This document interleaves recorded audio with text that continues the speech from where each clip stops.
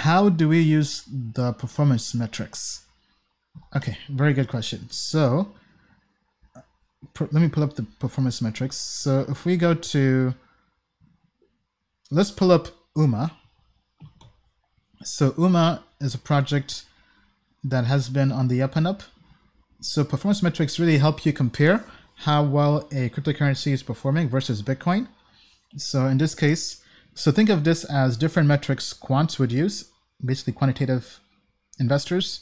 Um, so we have over, we have 54 different quantitative data points that are helpful to investors. And the benchmark we use is Bitcoin because we think Bitcoin is kind of the benchmark in the in, in the market. So looking at this, this kind of gives you perspective, right? So UMA, since it launched here uh, on on June 1st, 2020, it's done a 8x, over 800% return versus Bitcoin. Nice. So this kind of gives you perspective on that and this helps you this this really just helps you compare versus bitcoin right because sometimes you're better off holding bitcoin than going into an altcoin right so this in a way kind of tells you okay this is how this cryptocurrency is faring versus bitcoin right so here we have the Sharpe ratio sortino ratio the max drawdown uh, since it launched the right so this right now is still pretty technical, but we are working on creating a performance metrics grade and then also turning this into an index.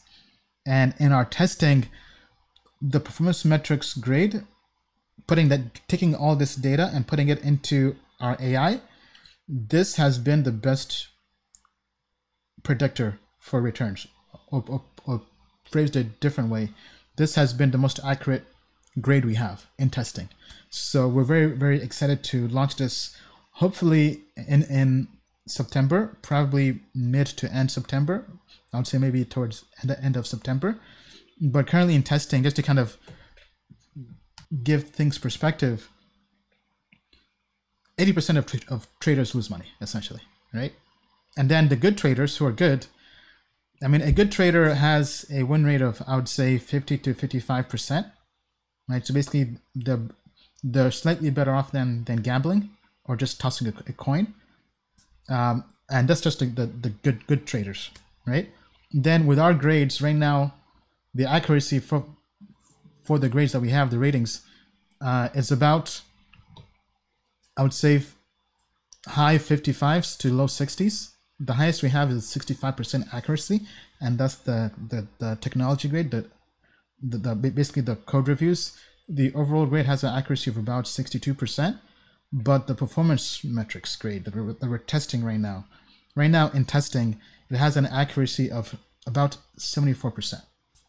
So basically, seven out of 10 times it's right. Now, when we say accuracy, we mean that when we give something a high grade, it ends up performing well, versus giving something a low grade, it ends up not doing well, right? This, is kind of how we measure accuracy, right? Um, so because basically we, we give grades of zero to 100%, and then we measure how how well it's performed based on the growth, based on the ROI, right? So we use our AI models and the metrics that we have here, right?